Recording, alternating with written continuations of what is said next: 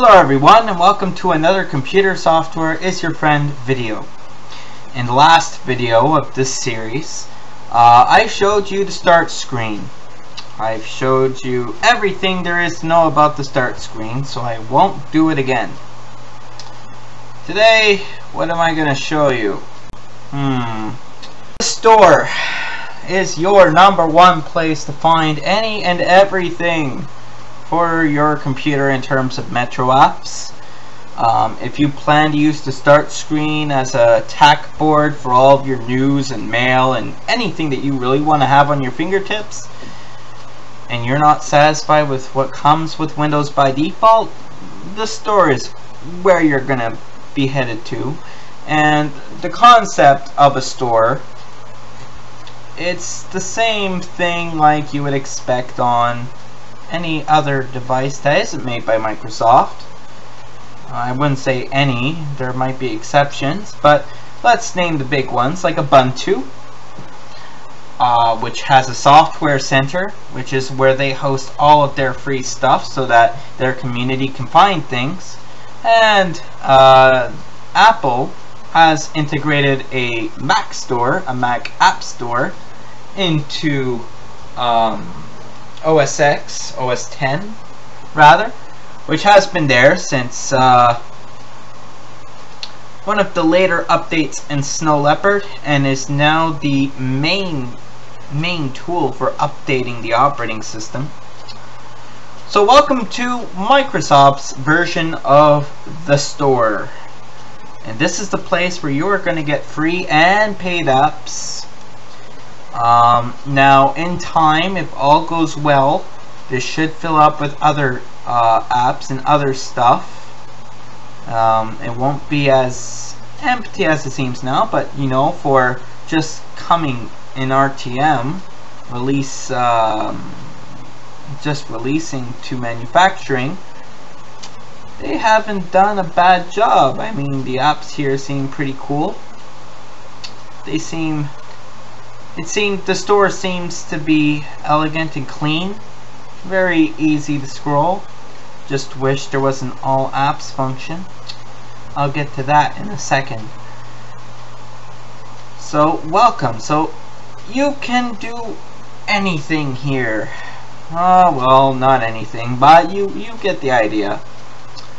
Any app that you want is going to be here. That's that's pretty much certain. If you have updates to apps, they'll also be available here. In fact, you will not only see the update uh, message on top, you will see a number one in the live tile of the store.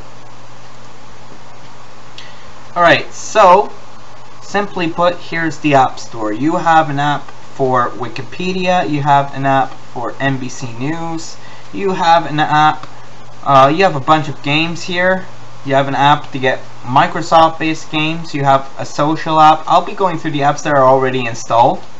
Um, in case you're wondering, Tweetro, well, it's kind of obvious, it's for Twitter.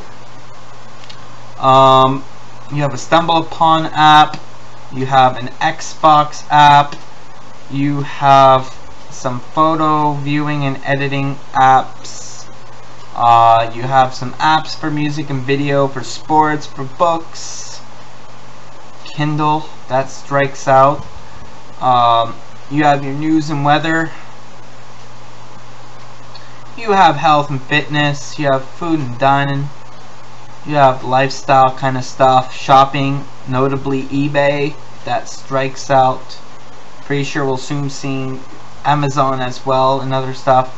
Travel apps, finance apps, productivity. You know, the OneNote app uh, it's a free app. It's um, very, very, very, very, very simplified version of OneNote, and basically it's uh, it's a note-taking app that syncs with the cloud. You got QuickNote, which is uh, kind of like a, a, sticky note thing. You know, like in the past, um, you would have gadgets. Gadgets slowed down the computer. That's why I never used them. But you would have gadgets where you could put notes on your desktop and if you wanted to remind yourself of something you would use it. Well, you can do that with Quick Note on the start screen. it's like a bulletin board. Um, and of course you got other stuff, security. Windows 8 comes with built-in security. I'll get to that later. Education, government. Okay, this stuff is useless down here. Further down, it's kind of like entering a ghost town. Am I going to show you the best apps that you should get? No, not yet. But I, I will show you the top three. There are about 99 apps. Um, and of course you can see their ratings and people have rated them and reviewed them. You can leave your own review in as well. You can get games like Minesweeper, which is a classic. You can get a radio app. You can get a, a webcam app. You can get a Bible app if you're religious. Um, if you can get um, a lyrics app you can get some other games and I recognize a lot of these things from the release preview so don't be surprised if you're coming from release preview and you notice a lot of similar apps hopefully by October this will be cleared up because 99 apps here uh, that's that's that's uh, that's a shame alright so what shall we do first well let's install an app which app shall we install? Hmm. I, I really like the OneNote app. And I'm hoping it will be a fast install. And look at how fast it is. Installing OneNote is very fast. In fact, it will close while you're looking at other apps and it will show you in the top right corner that it's installing. Click on it and it will show you the progress and what it's doing. Now I said earlier that you'll also have updates. The updates are right where you click on them and it's the games app that needs an update. So we're going to install its update. And you're going to see that you can install multiple apps at the same time or update them simultaneously. And as I said in the start screen tutorial, when they're installing, you're going to see them show up at the end here. Now, of course, the games is already here, so it's not going to move around. But the OneNote app is. And, of course, even while it's installing, you can move it. Alright. Now, let's say you want to gut an app. Choose an app and gut it. That's what I'm going to do with OneNote. But let's just recall an app that we have in here. Minesweeper. There we go. Let's say that we want to install Minesweeper. Oh, and by the way, whenever something's installed, you're going to get a notification right in the top right menu and you're going to get a sound as well. Any time that you want to find an app, it's very simple. Let's say you want to find Minesweeper.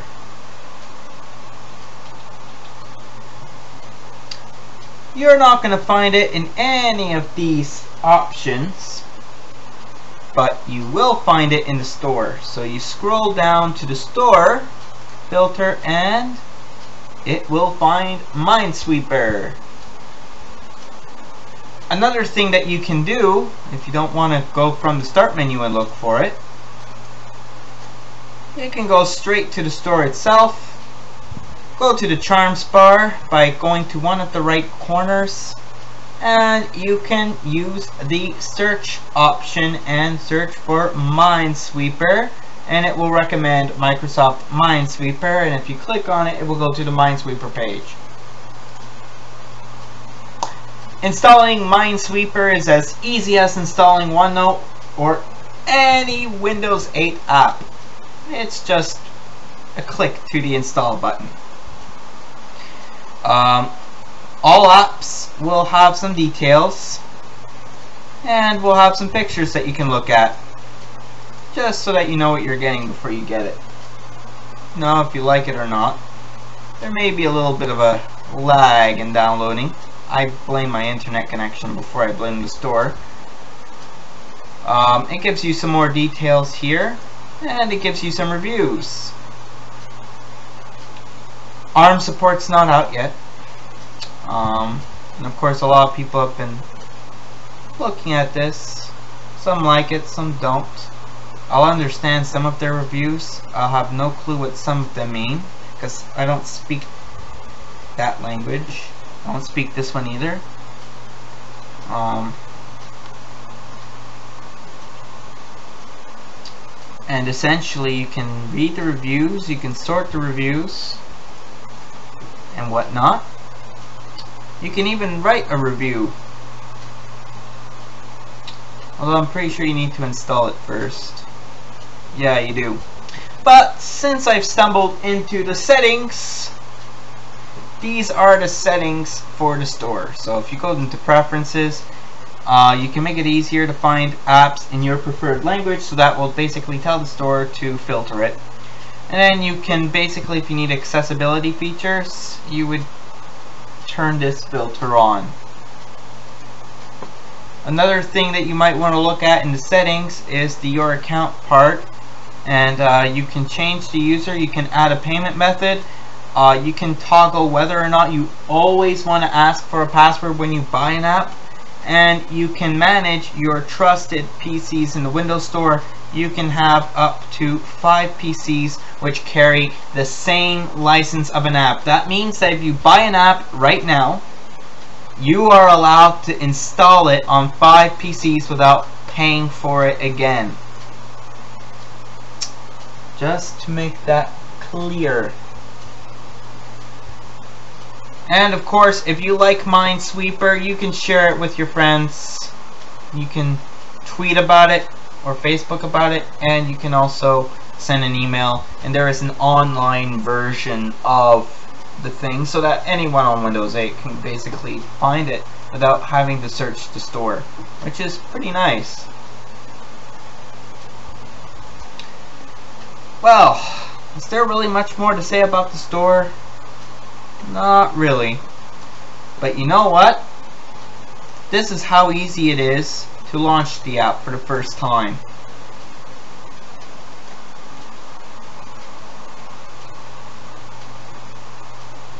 So it's launching OneNote for the first time. I just got this from the store.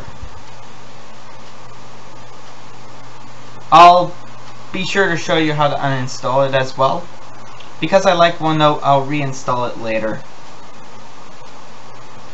and it gives you your tutorial how to use OneNote. The Metro app, the full screen app. But I'm not going to go into detail because the point of this video is not to show you the new OneNote app, it's to show you the App Store. Of course, to close an app, like the store, you click it and you drag it and you drop it on the bottom of the screen and to uninstall an app, it is very simple. You click uninstall, it will ask you to confirm. You click uninstall and it's gone. It's gone. It is gone permanently. Now, if you want to know your app history, you can find that right here. You go to your apps, you right click, and there will be a menu on the top. It'll be called your apps. Uh, throughout the whole history of me testing Windows 8, I've installed some stuff and essentially it will tell me, well, this is what I've got in the past and I, I don't have it installed or I do have it installed and when I got it, when I decided to use it, you know, this kind of information. Very simple and I can sort by date, I can sort by where it's installed or where it's not installed and of course I can select all and uh, do a mass option right now. If I wanted to um, select multiple, you just click on multiple.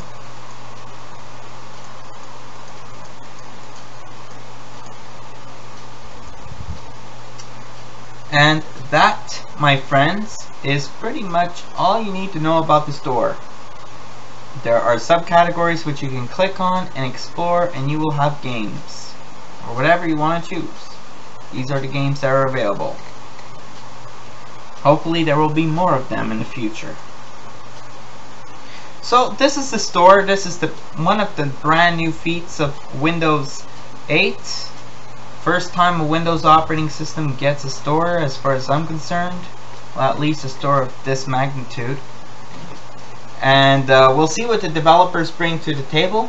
We'll see if they bring really great apps. Um, they certainly have a really wide platform. I mean, Windows is by far the most used operating system in the world. They own the market share.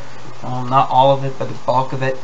And uh, if Windows 8 does sell, then we can expect developers to be making some really great apps, which will most likely also be available on the Windows Phone. And of course, this Windows 8 operating system is also going to be on tablets, and uh, Microsoft is releasing its uh, Surface tablet very soon. I'm looking forward to that. Still no word on pricing. Hopefully they're reasonable with the pricing because if they go too high, they're going to shoot themselves in the foot. Alright, so speaking of store, eh? So that's it. Um, that is the store. And now we're back to the start screen where it all started. So, let me know how I did. What do you think of my tutorials and my videos? Do you like them? Well, let me know. What do you think of the store? Have you got a chance to use it? Maybe in the uh, in the trial versions prior to the RTM? What do you think of the story? You think it's a good idea? Um, if you like my content, follow me on Facebook, Twitter, and Google+. The links are in the description below. If you like the videos and you want to know when the next one's going to come, your best bet is to hit the subscribe button. Um, so this is Windows 8. This is the store, and I'll be reviewing all these other apps down the line. But this is it for now. Until then, this has been another Computer Software is Your Friend video.